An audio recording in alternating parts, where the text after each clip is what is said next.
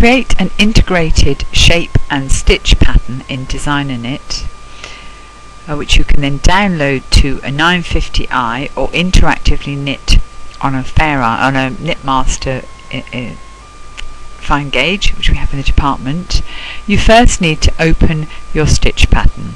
Now I've opened my stitch pattern which is called colour 395 STP I've made sure my machine is selected which is going to be here method of knitting. Choose my machine which is going to be a Brother 950i for this exercise. Uh, it's going to be a fair Isle pattern say OK just double check here on your yarn palette that you've got a selecting and a non-selecting colour and that your background colour um, is your right hand mouse button and you've got a deselecting needle for that and a selecting needle for your fair isle colour. Save your, your pattern just to make sure it's as you want it and you've set it all up. The next thing you need to do is to load your shape pattern. Go to Shapes, Open Shape File. I'm going to work with the child's sleeveless, which is a standard pattern, but you would have your own saved here or on a USB stick. I'm going to work with just the front at the moment, so you select front, say OK, and it now shows you the shape of the garment here. You can see the V-neck on a repeat of your pattern. Now up on the left here, oh, sorry, right here, you've got choices. Uh, you're seeing your shape at the moment. You uh, can display all the pieces, so that will bring the back in as well. But we only want to work on the front, but it will bring all the pieces, you can see them. Uh, the next you can see is um, uh, is you can move it.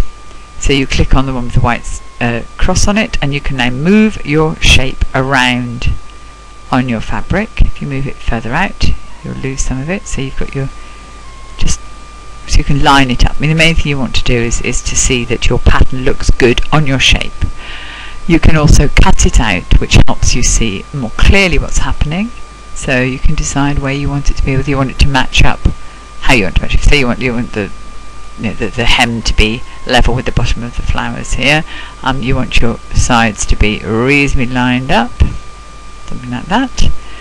Uh, when you're happy with that, you now want to download it to the knitting machine. But first of all, we'll save. Save as. We'll call it something new because it will save all the information with it. So we'll call it A, color 395A, save. And now we want to transfer it to the knitting machine. If we were going to use the uh, the brother, we'll use the transfer option and we go download. If you wanted to make sure you were saving other people's work, you would upload the batch from the knitting machine first because download will overwrite all the patterns. Click download, uh, which is the 950i. Okay. I'm going to find my file, which was called Colour A. There we are. Okay. Select it say OK. It will now replace all 900 steers in your knitting pattern. Say OK. Now asks us when you're knitting fair with the colour changer, use the needle selection inversion switch on the machine. Brother used to have um, a single bed, or do sell a, a single bed colour changer. Uh, and it, it necessitates reversing your selection. So this is what it's telling you. But as if you're not going to use one, don't worry about that. But if you're using the electronic, there is a little switch that will allow you to reverse it. Go to download. Now I don't actually have um, anything attached to this machine, so it will now download, but it's not going to because it can't. So that's as far as we can go. You'd have to actually go to the other to the main machine, and you would press follow the instruction of the machine once you've plugged it in, and it will download for you.